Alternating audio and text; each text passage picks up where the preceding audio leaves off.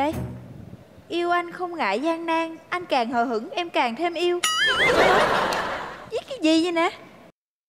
Mẹ, mẹ lấy cái này ở đâu vậy? Làm gì vậy?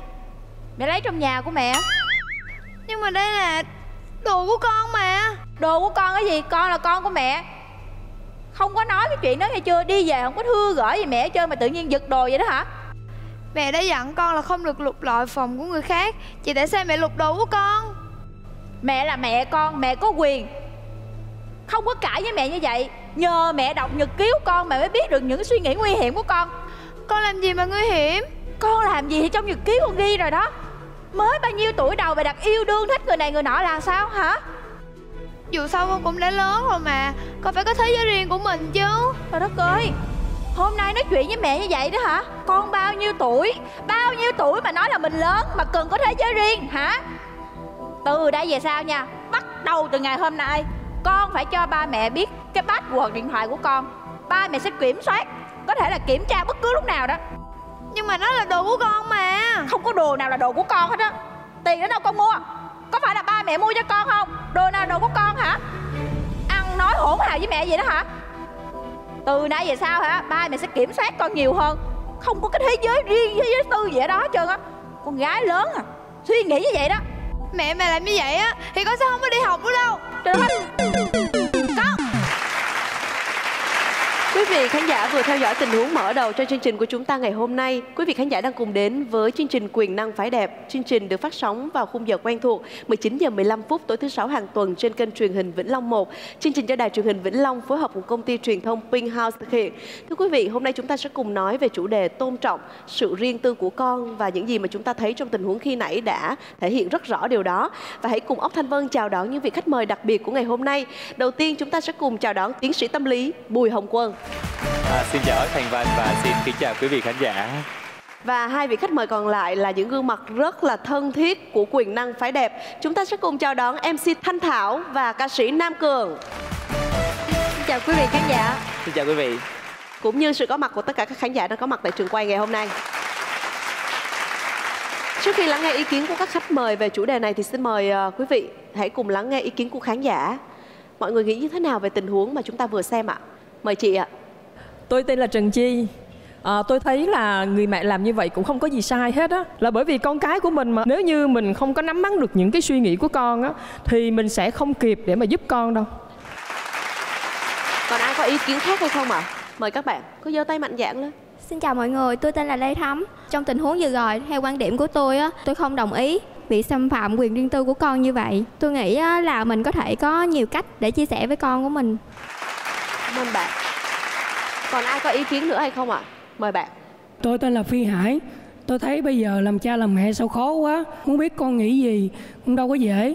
Nhất là khi con đang tới tuổi về thì ờ, ít chịu chia sẻ với cha mẹ lắm.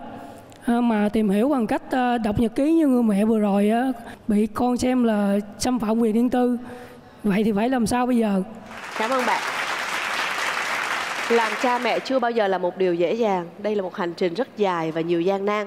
Và đó là ý kiến của các khán giả. Thế còn các khách mời thì nghĩ như thế nào về tình huống mà chúng ta vừa xem? Rồi chúng ta cũng sẽ đến ngày đó.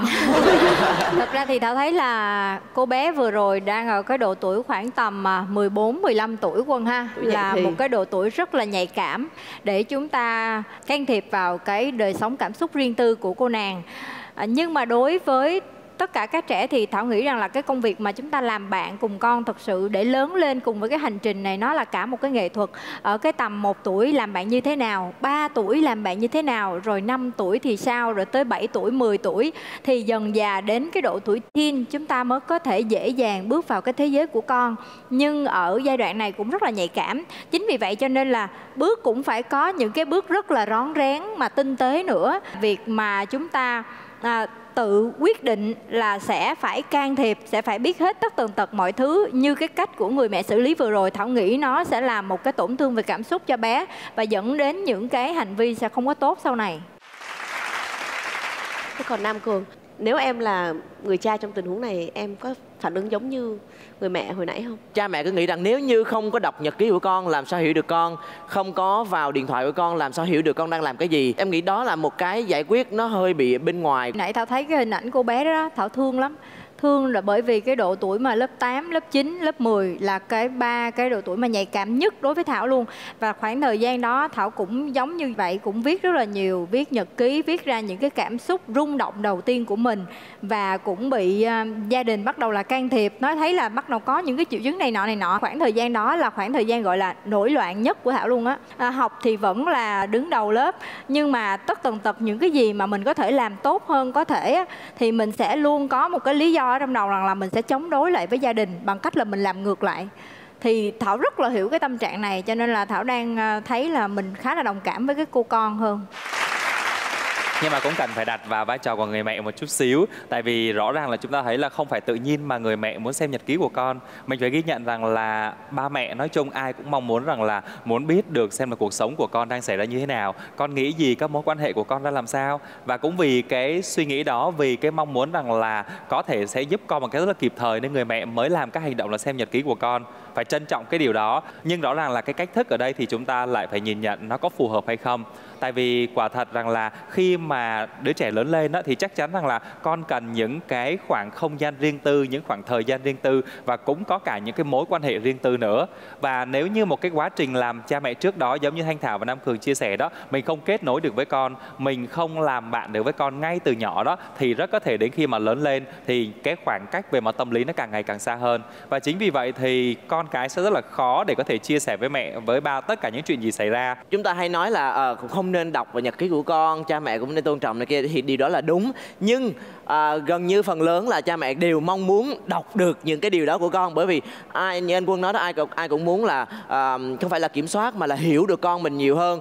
Nhưng mà thay vì cái việc mà người mẹ sẽ đọc và nổi giận lên là tại sao con thế này tại sao đến cái tuổi này mà con lại bắt yêu đương rồi con này kia thì phụ huynh nên ví dụ như lỡ có lỡ gọi là à, đọc những cái cuốn nhật ký đó của con thì nên đọc để hiểu và thay đổi cách nói chuyện với con thay đổi cái hành xử và có thể là dễ dàng khơi gợi để con chia sẻ với mình trực tiếp nhiều hơn. Tóm lại nhật ký vẫn là một cái gì đó rất là riêng tư.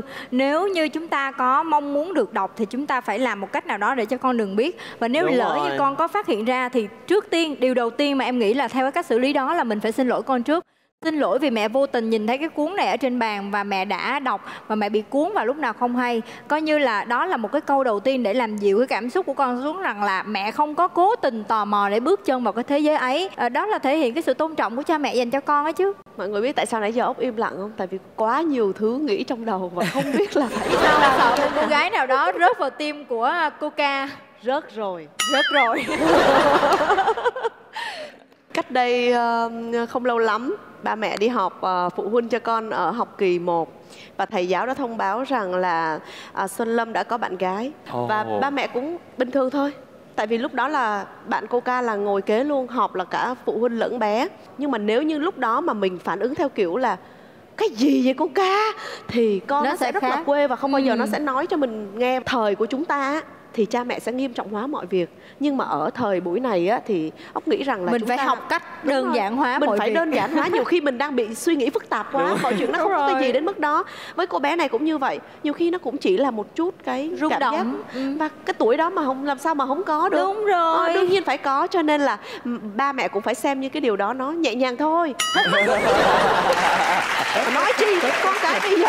Ở cái ờ, phần đầu tiên này em muốn hỏi anh quân trước khi chúng ta chuyển sang ờ, phần thứ hai đó là tại sao cha mẹ luôn có xu hướng là can thiệp vào cái sự riêng tư của con và tại sao những đứa trẻ thì sẽ luôn đóng mình lại trước cha mẹ mà trong khi chúng có thể rất là thoải mái với người bên ngoài Ừ, một câu hỏi rất là thú vị. À, trước hết là về phía cha mẹ trước thì à, chúng ta phải ghi nhận rằng cha mẹ thời nào cũng sẽ giống thời nào ở cái việc đó là luôn luôn mong muốn con mình được an toàn và để mà con an toàn thì cha mẹ có mong muốn rằng là sẽ biết tất cả những cái gì diễn ra xung quanh cuộc sống của con.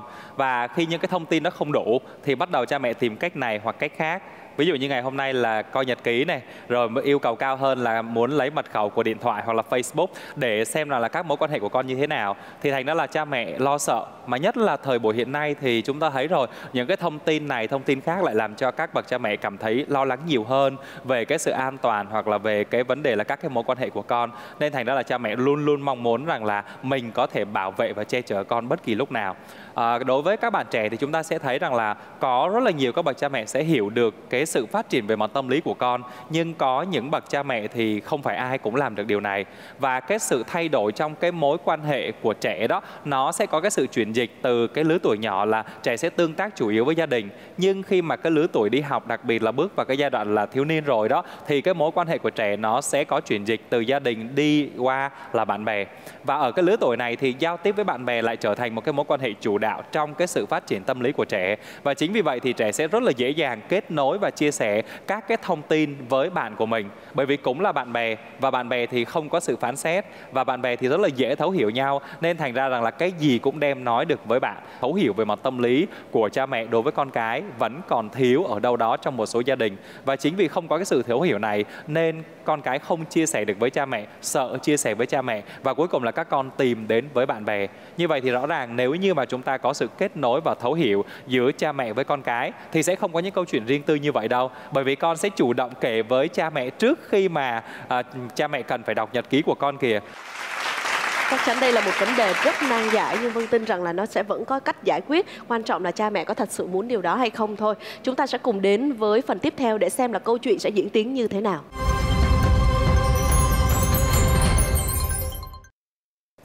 Cái báo sáng nay có bài nào hay nóng hổi đâu đâu. Coi trời ơi. Mở Cái chào ngoại. ra. Đó. ủa con? Đi học của ba mẹ con đâu? Đi con mình vậy? Dạ tại con qua nhà bạn chơi xong qua nhà hỏi luôn. Ủa? Chứ con không có về nhà rồi đi thẳng vào đây luôn hả? Dạ. Ủa sao vậy?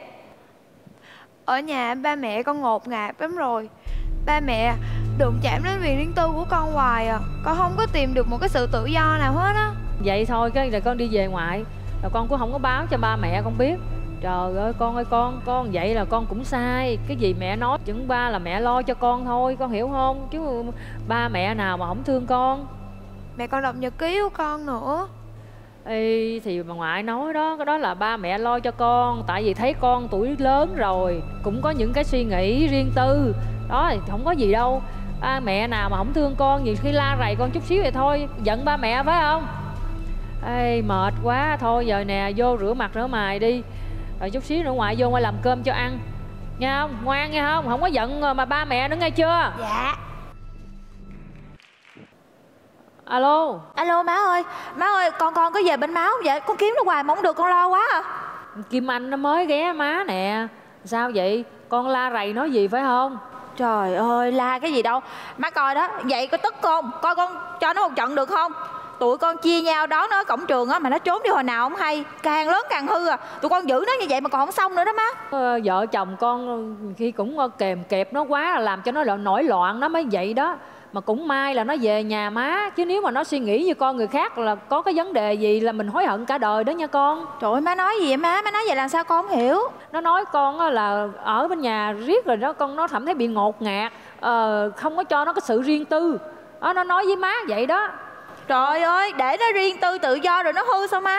Con biết rồi, để con về con nói lại với con con. Con cảm ơn má nhiều nha. nè thôi mà cái chuyện này thôi để má với con gặp nói chuyện riêng nó đi nó suy nghĩ bậy bạ như những cái đứa khác là nó đi luôn là cái đó còn khổ hơn nha con nha Dạ dạ con biết rồi, chút con qua con đón nha má. rồi rồi rồi vậy đi dạy con mà không hiểu theo tính nết của con á không có theo ý nó là khổ cả đời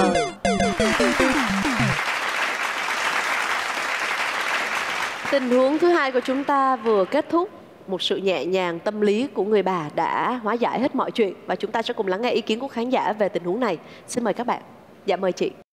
theo mình thấy là suy nghĩ của trẻ con bây giờ nó rất khác với cái thế hệ của chúng mình ờ, vì vậy mà mình không thể nào mà đem những cái kinh nghiệm xưa ra để áp dụng được và mình thấy làm bậc cha mẹ thì nên tìm hiểu sâu sát về cái tâm lý của con để tránh những cái trường hợp mà không hay xảy ra về sau còn ai có ý kiến nữa hay không ạ? Mời em. bản thân tôi á thì từng bị gia đình kiểm soát rất là chặt Ờ, nên tôi thông cảm với những đứa trẻ trong tình huống vừa rồi thật sự thì ngay từ học cấp 2 tôi cứ mong là mình lớn thật là nhanh để được đi học đại học Ờm, vì trong suy nghĩ của tôi lúc đó thì chỉ có đi học đại học thì mình mới có thể được sống xa nhà và làm những điều mà mình thích Có một ý kiến nữa từ khán giả ạ. Mời bạn.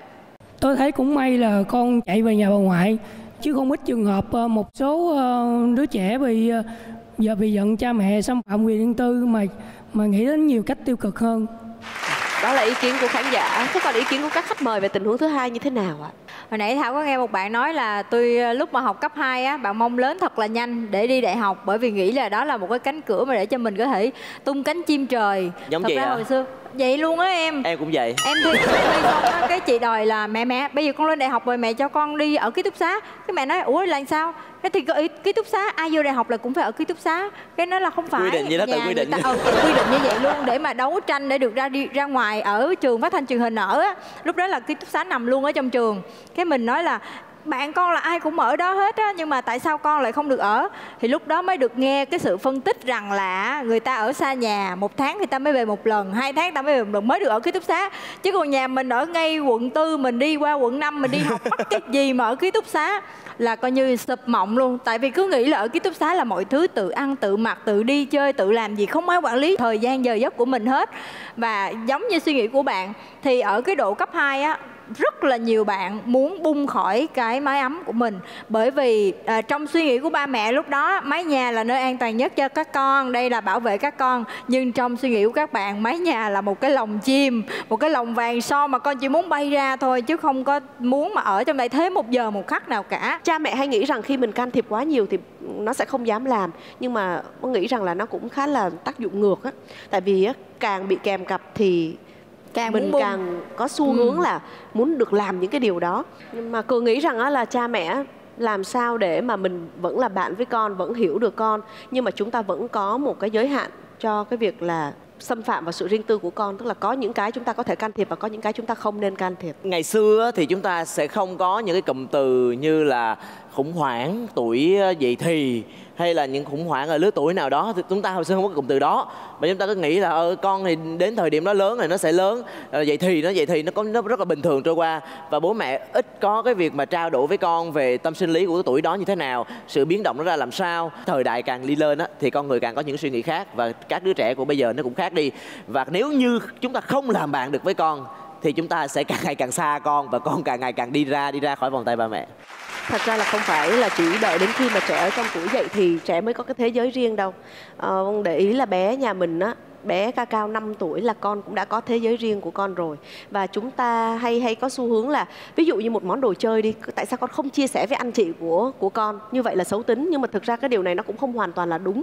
Có những lúc là cái đó là cái món quà của con và con đã được quyền tận hưởng điều đó. Còn con có muốn chia sẻ hay không thì đó là quyền của con. Nhưng đôi khi chúng ta hay bị áp đặt con và chính mình cũng đã từng như vậy. Mình nghĩ rằng là con như vậy là không nên mà mình không có hiểu rằng là trong một khoảnh khắc đó con chưa sẵn sàng cho chuyện chia sẻ và con chỉ muốn là một mình con tận hưởng cái món quà đó thôi. Thì thực ra nó cũng không có sai. Tức là trẻ ở độ tuổi nào cũng đều có cái thế giới riêng và chúng ta sẽ không có vội vã bước vào cái thế giới đó bằng những đôi giày cao gót. Tức là cứ cộc, lộc cộc lộc cộc lộc cộc bước vào là không được giống như thảo nói là mình nên bước vào Bước một một cách cách rất là nhẹ rén. nhàng rón rén là thử xem là con có thích điều đó hay không. Thì làm sao để cha mẹ sẽ thực sự hiểu rằng mình nên tôn trọng quyền riêng tư của con nhưng mà không phải là tôn trọng tới mức rằng là để cho con cứ ừ, tự do luôn mà mình lại đứng bên ngoài. Cái điều này khá là khó ha. Ừ, Chắc phải quả- nhờ anh thôi dạ. À, quả thật là không hề đơn giản. À, hồi nãy đến giờ thanh thảo và áo thành văn cũng như nam cường chia sẻ thì uh, hồng cũng rất là thích cái khái niệm đó là cái cái thế giới của con nhưng mà mình có nên đi vào cái thế giới đó bằng cái giày cao gót, hay là mình đi vào một cái rất là nhẹ nhàng, hay là mình chỉ quan sát thế giới của con mà thôi? Thế giới của con nó được nhìn bằng lăng kính của con và cũng có những trường hợp thì cha mẹ không nhất thiết phải bước vào làm gì, mà chúng ta chỉ cần từ bên ngoài chúng ta nhìn vào, miễn rằng là con đang ở trong một thế giới an toàn. Điều đó cũng đủ rồi. À, và quả thật rằng là mỗi một cái giai đoạn phát triển về tâm lý lứa tuổi đó thì nó sẽ có những cái sự biến chuyển rất là lớn về cái tâm lý và nó sẽ được biểu hiện ra ở bên ngoài. Khi mà con còn nhỏ đó thì chúng ta có thể là cùng với con trong mọi hoạt động, điều đó là đương nhiên rồi. Nhưng rõ ràng khi mà con lớn lên và đặc biệt là vào cái giai đoạn bắt đầu con dậy thì đó thì mình sẽ phải nhìn nhận rằng là lúc này về tâm sinh lý của con là thay đổi hoàn toàn và con sẽ đã bắt đầu là có những cái dấu hiệu của người lớn rồi. Lúc này con không còn là con nít nữa. Vậy thì chúng ta cũng phải thay đổi cái ứng xử trong cái trường hợp này. Và khi mà đã là người lớn, chúng ta cũng vậy mà, chúng ta là người lớn, thì chúng ta vẫn cần có những cái mối quan hệ, những cái sự quan tâm hoặc những khoảng không gian rất là riêng tư. Và lúc này thì mình cần phải hiểu rằng là con mình sẽ không phải là một trăm phần trăm trong cái vòng kiểm soát của mình nữa, mà mình sẽ cùng với con để bắt đầu là làm sao để con chia sẻ. Cái từ làm bạn với con nó rất là hay ở cái việc là đây là sự chủ động để mình cùng với con để mình sẽ chia sẻ với con các cái thông tin trong cuộc sống. Tại vì có những thông tin cha mẹ từng trải qua và có những kiến thức khoa học cha mẹ biết, nhưng con không biết. Và nếu như mà mình chủ động chia sẻ với con được điều này, và để làm sao mà khi mà con có bất cứ một cái điều gì đó mới trong mối quan hệ, trong cuộc sống hoặc là sự thay đổi về cơ thể, thì con sẽ chia sẻ với cha mẹ. Và việc đầu tiên phải là không phán xét đã. Tại vì đã là bạn bè với nhau thì không có gì là phán xét. Tôi sẽ chấp nhận bạn à tuy nhiên đúng như là ông thanh văn nói, nếu như mà mình để cho con một cách hoàn toàn riêng tư, mình không có sự quan tâm đó, thì nó cũng sẽ là một cái sự nguy hiểm. Và trong gia đình cũng cần phải có những cái nguyên tắc được xác lập ví dụ như là cái lứa tuổi con mới lớn thì con sẽ rất là tò mò, đặc biệt là các vấn đề về giới tính, về sức khỏe sinh sản. Nếu như cha mẹ không hướng dẫn thì có thể là con sẽ có cái cách tìm hiểu nó không có đúng. Và bây giờ thì cái gì cũng có thể tìm hiểu được trên internet, nên là cũng có những cái quy định trong gia đình. Ví dụ, cái máy tính ở cái lứa tuổi nào con sẽ được sử dụng cái máy tính riêng. Tại vì đôi khi trong một cái không gian riêng, với một cái máy tính cá nhân thì trẻ có thể là truy cập những cái website, những cái thông tin mà nó không có tốt cho trẻ. Thế thì có những trường hợp gia đình sẽ chọn những cái không gian chung. Và ở cái không gian chung đó thì tất cả các thành viên trong gia đình đều có thể bước vào không gian đó vào bất kỳ lúc nào. Nhưng mà cũng có những không gian cần phải riêng cho đứa trẻ, đó là cái phòng ngủ à đó là cái khoảng không như những cái cuốn nhật ký hoặc là những cái mối quan hệ rất là riêng tư. Nếu cha mẹ muốn bước vào thì cần có cái sự xin phép. Và xin phép ở đây không phải rằng là cha mẹ mất quyền, mà chỉ đơn giản là mình thể hiện sự tôn trọng con mà thôi.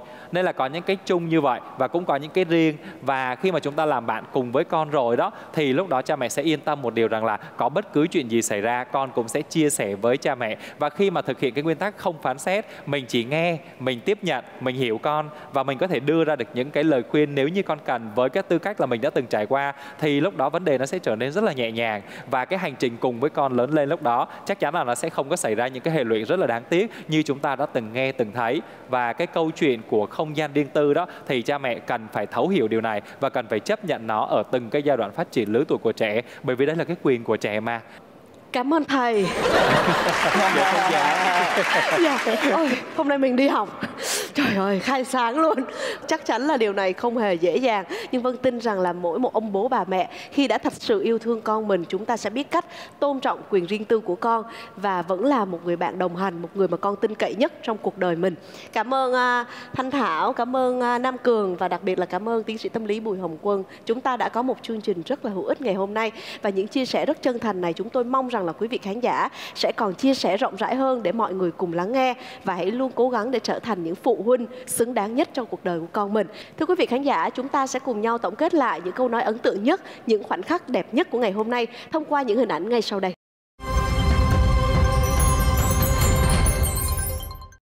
Khi mà đứa trẻ lớn lên đó thì chắc chắn rằng là con cần những cái khoảng không gian riêng tư những khoảng thời gian riêng tư và cũng có cả những cái mối quan hệ riêng tư nữa. Chúng ta hay nói là uh, không nên đọc vào nhật ký của con cha mẹ cũng nên tôn trọng này kia thì điều đó là đúng. Nhưng à, gần như phần lớn là cha mẹ đều mong muốn đọc được những cái điều đó của con bởi vì ai như anh quân nói đó ai cũng ai cũng muốn là à, không phải là kiểm soát mà là hiểu được con mình nhiều hơn tóm lại nhật ký vẫn là một cái gì đó rất là riêng tư. Nếu như chúng ta có mong muốn được đọc thì chúng ta phải làm một cách nào đó để cho con đừng biết. Và nếu lỡ như con có phát hiện ra thì trước tiên, điều đầu tiên mà em nghĩ là theo cái cách xử lý đó là mình phải xin lỗi con trước.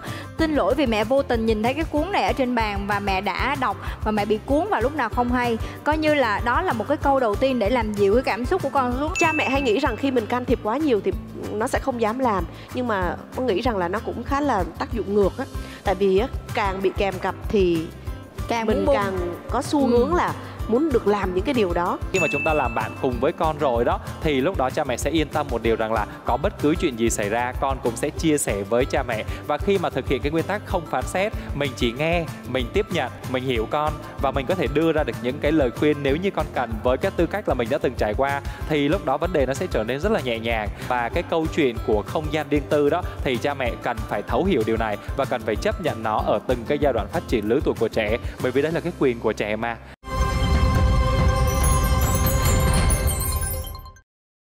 Vị khán giả, thời lượng dành cho chương trình ngày hôm nay đã hết rồi và đã đến lúc chúng tôi phải nói lời chào tạm biệt. Chúng ta sẽ gặp lại nhau vào lúc 19 giờ 15 phút tối thứ sáu hàng tuần trên kênh truyền hình Vĩnh Long 1. Chương trình quyền năng phái đẹp do đài truyền hình Vĩnh Long phối hợp cùng công ty truyền thông Pink House thực hiện. Còn bây giờ, xin chào tạm biệt và hẹn gặp lại tất cả quý vị.